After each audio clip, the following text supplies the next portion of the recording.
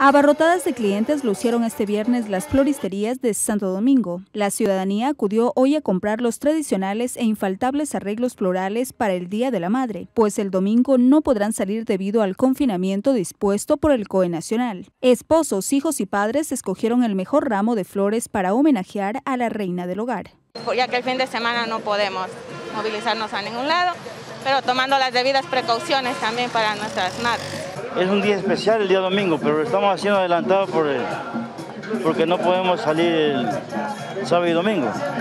El movimiento comercial fue alto durante la jornada de este viernes. Los propietarios de las floristerías aprovecharon este día para vender la mayor cantidad de ramos florales y también para receptar pedidos, pues el domingo atenderán con entrega a domicilio. La gente se está anticipando por lo que el fin de semana no se pueda trabajar, está dejando reservando los pedidos, eh, ya estamos cerrando desde la anterior semana ya, tenemos agendados infinidad de pedidos ya. Para esta fecha especial se ofertaron arreglos florales desde un dólar en adelante. De igual manera se ofrecieron peluches y cartas personalizadas. Tenemos buque desde un dólar en adelante.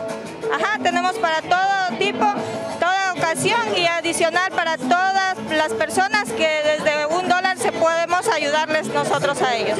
De esta manera, las floristerías esperan aprovechar al máximo esta fecha especial para mejorar sus ventas, pues la pandemia del coronavirus también ha golpeado su actividad.